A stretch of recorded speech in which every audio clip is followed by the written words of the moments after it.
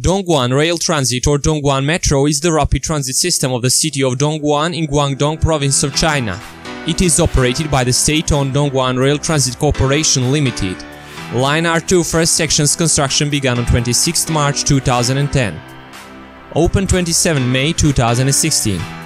Current plans call for some Dongguan metro lines to eventually connect with the neighboring Shenzhen and Guangzhou metros. Line 2, the first section 15 station and 37.743 kilometers long from Shilong to Humen coach terminal in Dongguan. Operating system length is 37.7 kilometers. On April 13, 2010, Dongguan railway station, formerly New Dasan station, construction officially started, also the starting point of the metro line. The subway station hall project to be constructed simultaneously. On March 26, 2010, Section 2304 Standard Test Project held a groundbreaking ceremony. Dongguan Metro Line officially started.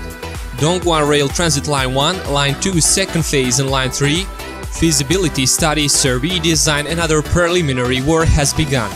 By 2019 it is planned that Dongguan Rail Transit System will have three operating lines, a total length of 164.6 km of rail network.